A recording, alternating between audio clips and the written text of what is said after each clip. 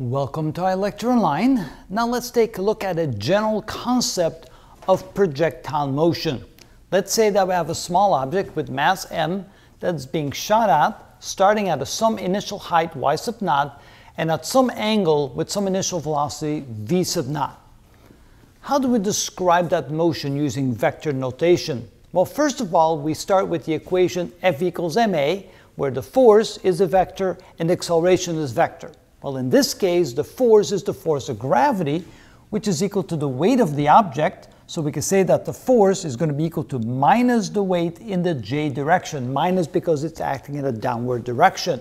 And the weight can be described as the mass times acceleration due to gravity, with g being 9.8 meters per second squared. So we can write the force equals mass times acceleration in the j direction, like that.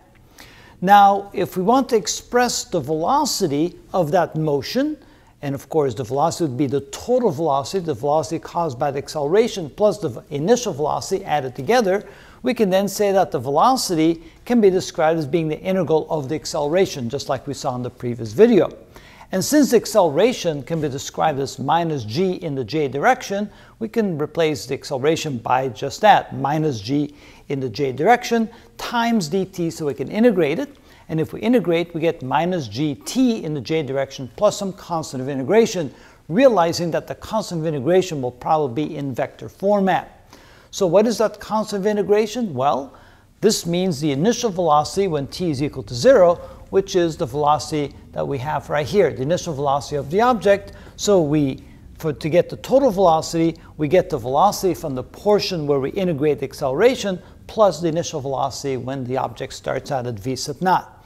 So we have minus g times t in the j direction plus v initial. Notice when t is equal to 0, this term disappears and the velocity is simply equal to the initial velocity, which is what we expect.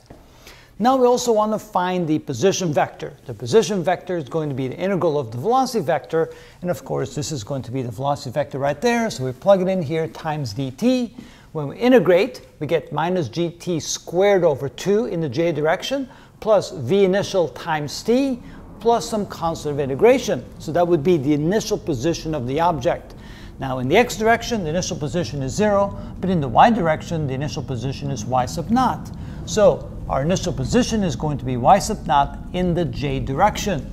And so now we have the position vector has this component due to the acceleration, this component due to the initial velocity, and this component due to the initial position. Combining this and this, because they're both expressed in terms of the j direction, we have minus gt squared over 2 plus y sub naught in the j direction plus the initial velocity times t. And that would then be a general way of, of, of explaining or describing using vector notation projectile motion in two dimensions. And that's how it's done.